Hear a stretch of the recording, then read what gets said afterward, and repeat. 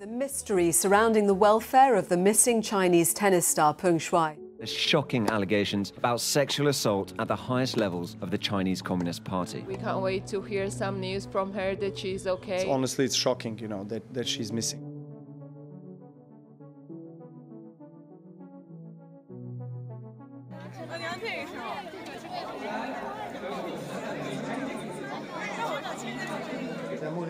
Yeah, well, works uh, in our office, very close to the White House.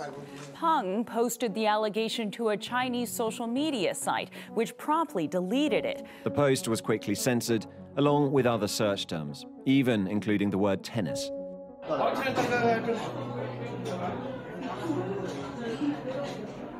对，今年啊跟去年不一样，今年呢还是由于疫情，原来计划呢我们是做实战的生产工作啊。世界第一，彭帅女士，欢迎您。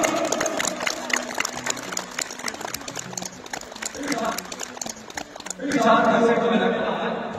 The clip starts with someone off screen saying, now is the perfect time. Okay, okay, now now is perfect. Then there's a two second pause, and then the coach goes into this remark which in which um, he hammers home that it's November 21st. So it seems incredibly scripted.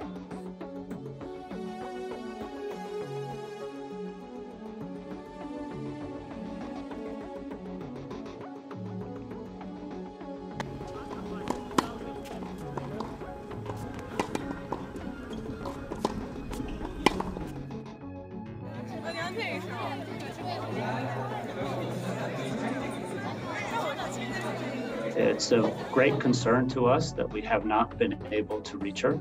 We definitely want to speak to her directly and make sure that she's okay.